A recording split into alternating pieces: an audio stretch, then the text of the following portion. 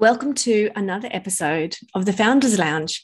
I am Peter Ellis, and I'm really excited to chat with the founder of the world's biggest garage sale, who I have actually known for quite a few years. My aim for today is to extract your story.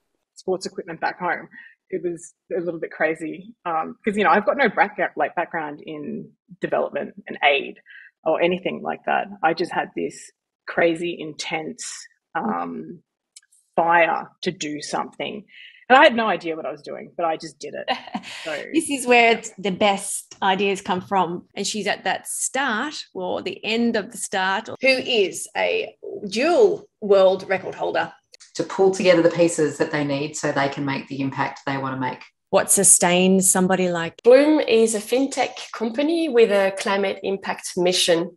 So our, our, goal is to make climate impact investing easy and accessible. It was absolutely the right road to take. Mm. But I would love yeah. you to unpack yeah. that as a strategy. Of course, it was going to be massive, and plus, I wanted it to sound bold and big and brilliant. But yeah, so it, that's been a recurring theme in my. Look at me over here. I'm very happy to see evidence proof that you can take a very different path beyond a professional um, athletic career. If you try to turn your passions into your businesses, then you'll end up killing the passion because it does become hard work. I have unwavering faith, mm. laser, laser focus, and extraordinary effort.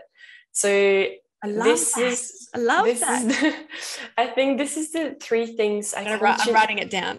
I continuously need to grow. So that faith needs to always grow stronger. And how I got into business in the first place with a, an ambitious high growth business model mm-hmm. comes the reality of never being quite the full person able to deliver what you want to deliver?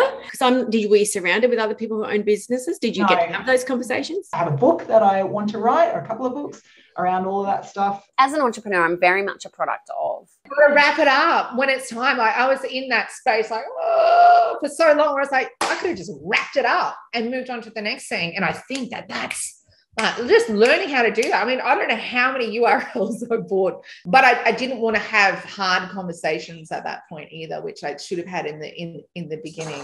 I had been developing this sort of appetite for adventure. It's not being afraid of your power, mm. like not being afraid to reach out to somebody and tell them your story. You just dive in, you do your thing, but you, there probably should have maybe been some structure. what I learned there was I could not leave the people. The panel format was important and I wanted that to continue. Everyone's always sitting on something that's just about to take off. But I will remind you that it's not actually what you're sitting on, it's you. So you are about to take off, and it is actually you who's the secret source, and you will always learn something new. So thank you for listening once again to this episode.